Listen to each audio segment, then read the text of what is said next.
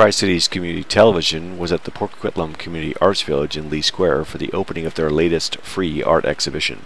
These free art exhibitions showcase many regional, talented, and emerging artists over the calendar year.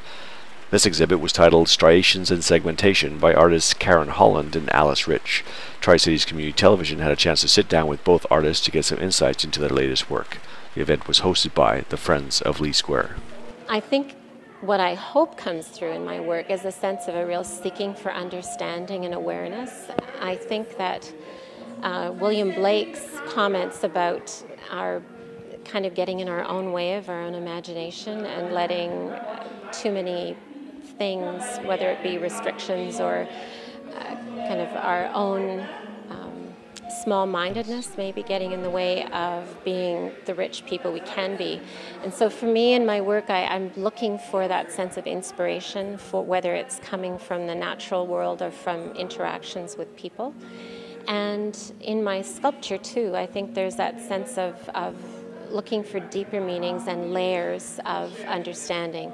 And the title of this uh, particular show, uh, Segments and Striations, looks into that because when we look at the world around us too, not just the people but the actual physical world around us, there's so many layers of history and awareness of what we're doing to our planet, but also um, this the things that we can get from nature, that sense of inspiration. And for me, I guess it's, it's seeing that there's more than just the surface. There's something behind that that I hope people see.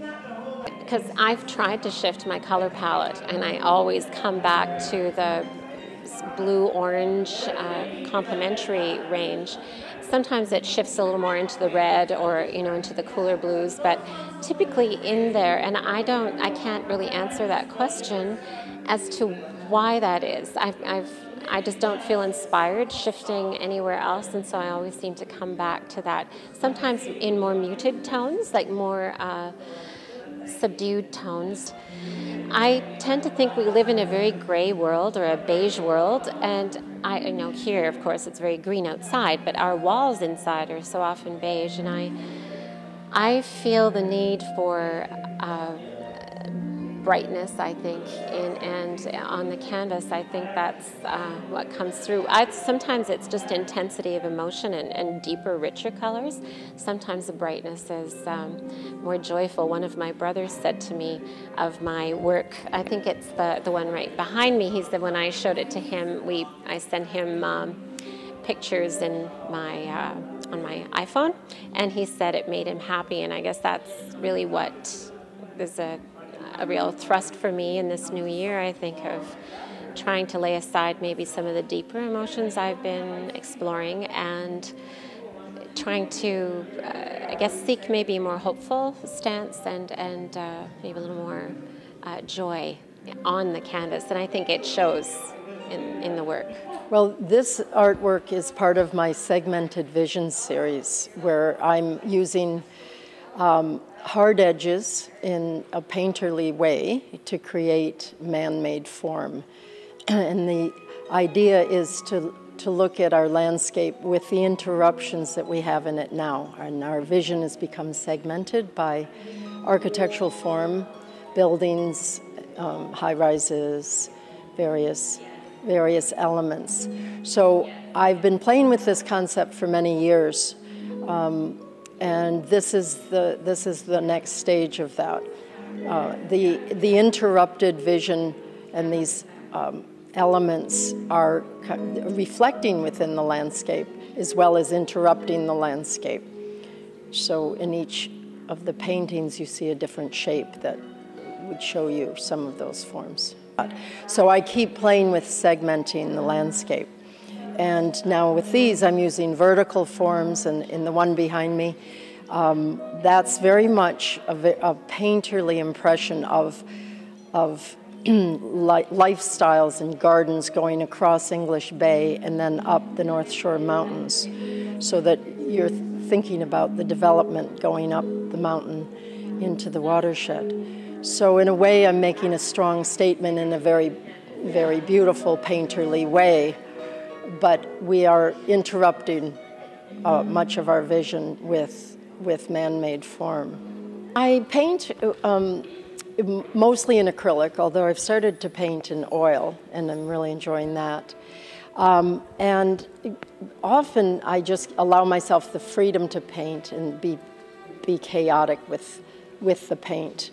And that's normally how I start, is it's the process of um, choosing the palette that gets me excited and I, I paint and the, the, it becomes kind of painterly but energetic and then I pull that together and create some order out of it, hopefully. And um, as I refine it, it becomes more and more orderly. And I, I paint with a lot of layers. So what happens is my underpaintings and the, the color and the chaos brings a layer and an element through. Um, the light, because I use clear mediums, it allows the light to penetrate through to the layers below. So a lot of the colors overlap and you can notice them on the surface. Well, I'm hoping that they think about, about painting, about art. You know, it's not, it's not just necessarily what's the imagery trying to say, but it's about the texture and it's about color and it's just about opening to the possibility of abstraction, thinking about something that isn't as clear as it could be. You know, if it, it's super easy, why would you create a painting? You could take the photograph to give, give the story. And so I always withhold, you know, a fair amount of information so that the viewer can participate, jump in there, and, and actually think about it and look and question. And in doing that, maybe they will go home with an idea of man-made forms that are interrupting our landscape and you know, what's behind those, what's next to them, how, how much are we filling in of that landscape, how is that affecting the rest of our world. So they may not think about all those things, but they might be driving along one day and actually see a sky that looks like mine with an element of a man-made form that is also reflected there.